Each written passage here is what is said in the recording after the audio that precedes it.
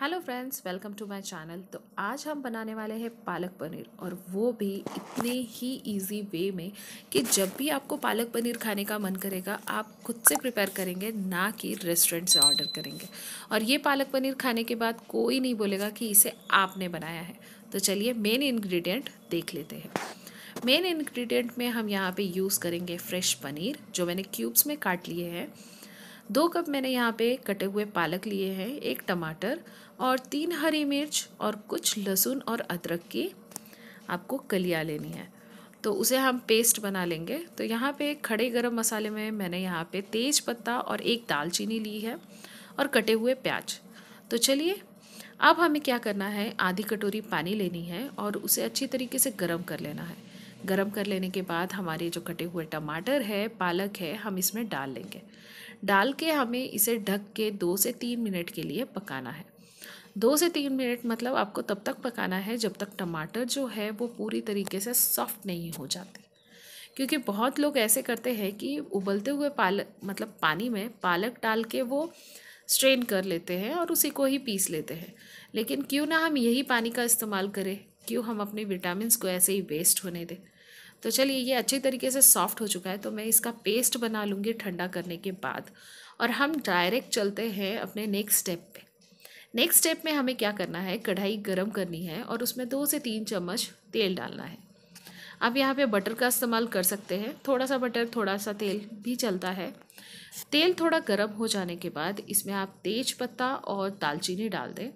वो थोड़ा सा भून जाए, अपना फ्लेवर तेल में छोड़ दे। तो फिर उसके बाद आप यहाँ पे एक से डेढ़ चम्मच लहसुन अदरक की पेस्ट डाल दें।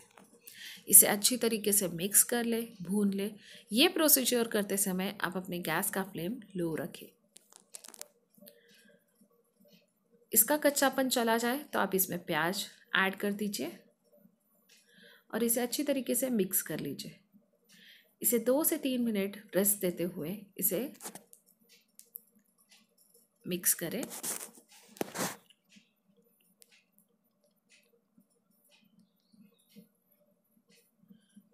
थोड़ी ही देर के बाद आप देखेंगे कि हमारा जो प्याज है, वो थोड़ा गोल्डन हो गया है मतलब इसका कच्चापन चला गया है। तो इसमें हम एक चम्मच कश्मीरी लाल मिर्च डालेंगे, हल्दी डालेंगे आधा चम्मच, एक चम्मच जीरा पाउडर और एक चम्मच धनिया पाउडर। अब इसे हम अच्छी तरीके से मिक्स कर लेंगे। अब ये हम ड्राई रोस्ट करेंगे। तो अगर हम इसमें ड्राई रोस्ट करते रहे तो हमारा जो मसाला है, वो पूरी तरीके से जल जाएगा। तो इसके लिए मैं यहाँ पे सिर्फ़ दो चम्मच तेल सॉरी दो चम्मच पानी ऐड करने वाली हूँ और इसे हम अच्छी तरीके से मिक्स कर लेंगे। इससे क्या होगा, हमारा जो मसाला है उसमें मॉइस्चर भी बना रहेगा और वो अच्छी तरीके से भून भी जाएगा। इसमें से स्मेल इतनी अच्छी आ रही है कि मैं आपको बता नहीं सकती और उसे एक्सपीरियंस करने के लिए आपको पालक पनीर घर पे बनाना पड़ेगा। जब ये अच्छी तरीके से भून जाए तो हम क्या करने वाले हैं इसमें? जो हमने पालक और टमाटर का पेस्ट बनाया था, वो हम इसमें डाल लेंगे। देखिए कितना फ्रेश ग्रीन कलर लग रहा है। अब इसे अच्छी तरीके से मिला लीजिए। अब इसे दो से तीन मिनट तक की रस दे दे के इसे कुक करें। याद रखें, पालक को कुक करते समय आपकी जो फ्लेम है, वो स्लो होनी चाहिए।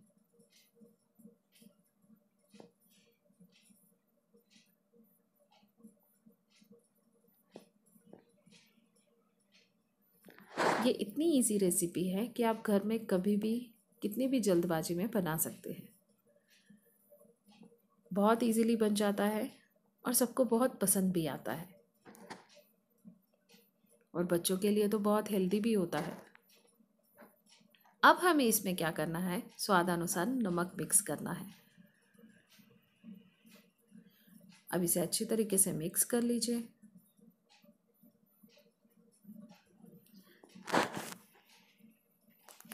ये बनाते समय ना आपको मसाले भूनने की झंझट है, ना पीसने की झंझट है। बहुत ही फास्ट बन जाता है और हेल्दी भी है।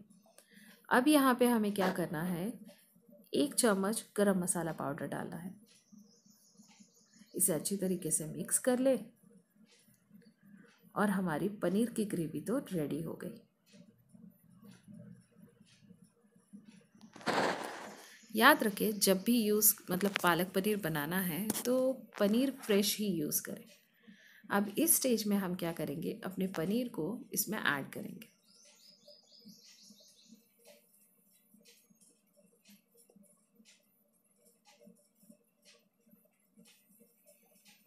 टोटली यहाँ पे मैंने 200 ग्राम पनीर का इस्तेमाल किया है।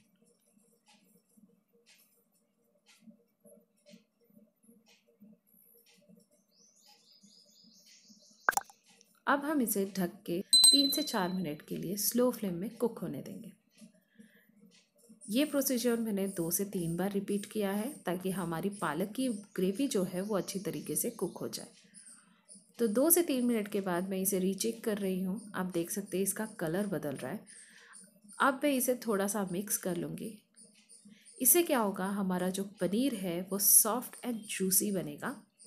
और जो पालक की जो ग्रेवी है, वो अच्छे से कुक हो जाएगी, जो पनीर के साथ अच्छे से मिक्सअप हो जाएगी। तो इसे फिर से ढक के दो से तीन मिनट कुक होने दें।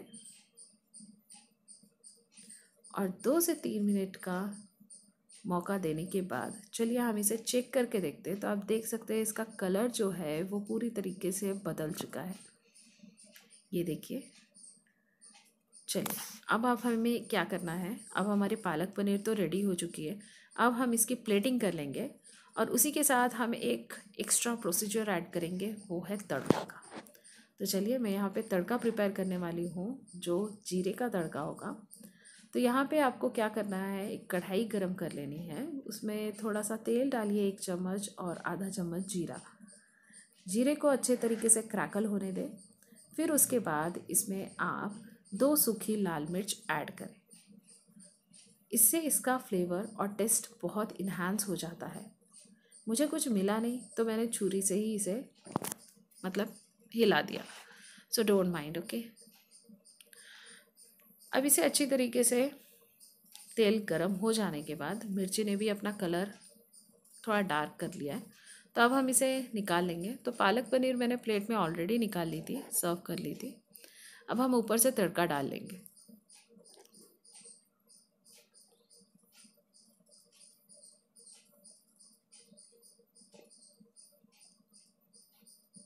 और ये देखिए। डिलीशियस लाविश हमारा पालक पनीर जो है वो रेडी हो चुका है। कितनी सिंपल और कितनी आसान रेसिपी है। पसंद आए तो चैनल पे बने रहे लाइक एंड सब्सक्राइब करना बिल्कुल ना भूलें। तब तक के लिए स्टे ट्यून बाय